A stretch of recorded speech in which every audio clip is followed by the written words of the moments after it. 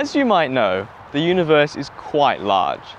It is in fact 93 billion light years wide. But to me, this seems like a pretty meaningless fact. For starters, what even is a light year? Well, a light year is simply the distance that a single piece of light can travel in an Earth year. The speed of light in a vacuum is roughly 3 by 10 to the 8 meters per second. That means at this speed, our single piece of light can travel 9.4 trillion kilometers in a single year. To put that into a bit of perspective, the distance from the Earth to the Sun is just 150 million kilometers, or 8 light minutes. If we want to truly appreciate the massive distances between objects in the cosmos, then we can build a scale model of the observable universe using units of measurement that we can visually understand, meters and kilometers. We can start with our solar system, and of course at the center is the sun. This football can represent it. With this football being the sun, and this sphere of Blu Tack being Jupiter, that means the scale we are building our model on is 1 to 7 billion, meaning that in reality, these objects are 7 billion times larger. Walking 8 meters from the Sun, we reach the orbit of Mercury, the smallest planet in the solar system. In reality, this distance is 58 million kilometers. Walking another 7 meters brings us to Venus. It is roughly the same size as Earth and is one of the brightest objects in the night sky. It is the hottest planet in the solar system due to its thick atmosphere and spins so slowly on its axis that one day on Venus is 116 days on Earth. Moving on another 6 meters brings us to Earth's orbit.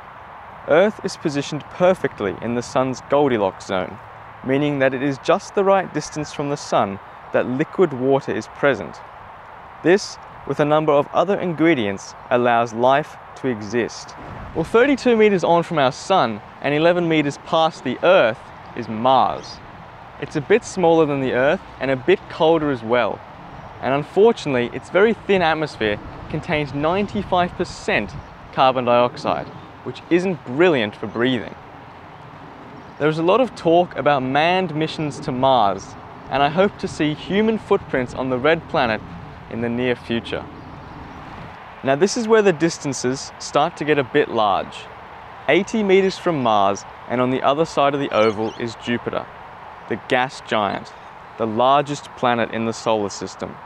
Of course famous for its massive red storm and its 79 moons. Traveling another 93 meters from here at Jupiter to pass those trees is Saturn. This is the last chance we'll get to see our football sun, which is barely visible now in the distance on the far side of the oval. Saturn is of course known as the planet with the big rings. It has 59 moons and takes 29 Earth years to complete just one of its orbits.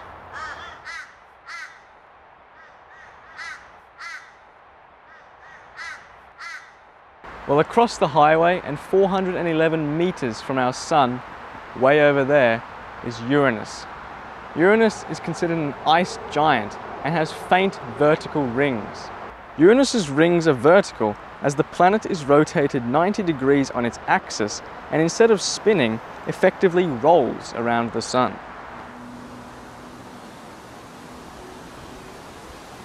Finally, we reach Neptune, the final planet in the solar system. A further 200 meters on from Uranus and a whopping 643 meters from our sun. It's roughly negative 200 degrees Celsius out here. It's pretty cold.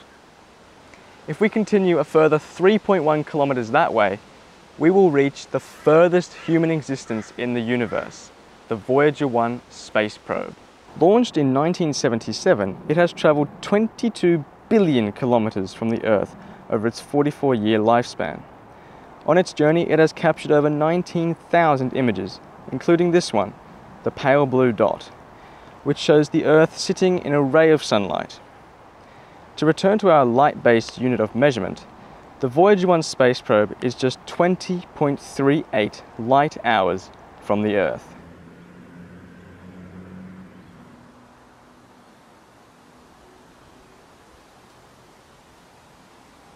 From here, at the Voyager 1 space probe, the next nearest star system is Alpha Centauri, four light years away. If we were to continue to use our current scale, Alpha Centauri would be 5,744 kilometers in that direction. If we want to even attempt to understand these distances, we're going to have to change the scale. Imagine that everything I've just shown you can be encapsulated onto this 20 cent piece the middle is our football sun, sitting way over there on the oval. And the edge is right here at the Voyager 1 space probe. Well, we are back at the oval now, and here is our compressed model on our 20 cent coin. Let's place it down. Let's represent the Alpha Centauri system using another 20 cent coin. Now remember that Alpha Centauri is four light years away, and on this scale, that would be 26 meters. The fastest spacecraft ever launched was the Parker Solar Probe. It achieved a maximum velocity of 247,000 kilometers per hour when it shot past the sun. At this speed, how long do you think it would take to reach the Alpha Centauri system? Well, you're probably wrong because the answer is actually 20,000 years. So I think we're going to have to say goodbye to our star civilization fantasies. A very disappointing reality.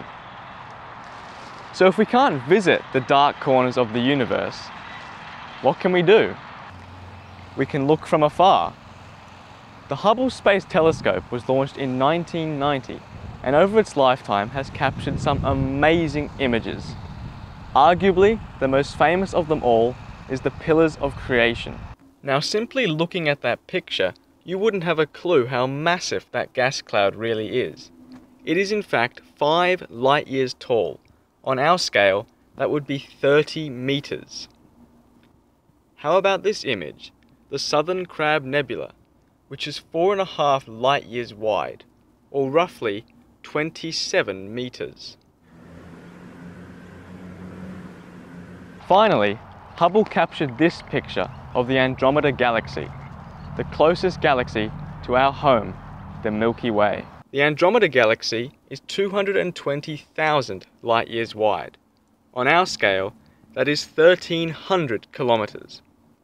And the distance from the Milky Way to Andromeda is 2.5 million light years, or 15,000 kilometers on our scale. That's 38 times further than the distance to the astronauts who are currently on the International Space Station. I think our oval is a bit small to represent this, so we are going to change the scale one more time. Now imagine that the Andromeda Galaxy can fit onto this 50 cent coin. The Milky Way galaxy is roughly half the size of Andromeda. Let's represent it with this 10 cent piece. Now at this scale, these two galaxies are separated by half a meter. Again, if we were to travel on the fastest spacecraft ever, this mere half meter would take us 11 million years to cover. Andromeda is currently moving towards the Milky Way at a speed of 110 kilometers per second, which means in roughly 4 billion years, the night sky could look something like this. From the demonstrations shown in this film, I hope you now have a slight appreciation for the massive scale of the universe and the seemingly insignificant part that humans play in it. I'll leave you with a final thought. At the start of the film, I said that the universe was 93 billion light years wide. Using the exact same scaling that we used for our galaxies, the observable universe would be 20,000 kilometers wide. And that's just the observable universe. What's outside of that? Well, nobody knows. The light has simply not had enough time to reach us.